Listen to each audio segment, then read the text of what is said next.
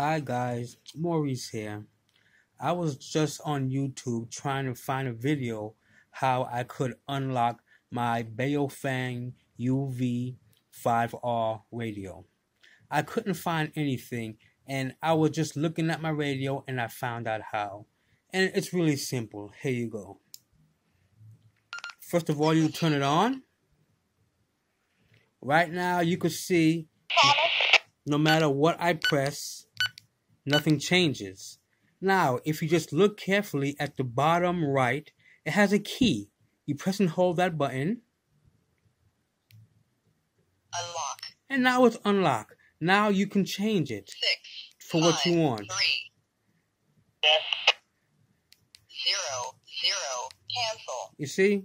And to lock it back, you just do the same thing. Press and hold the key. I know the focus is really bad. Now it's locked. Now nothing changes.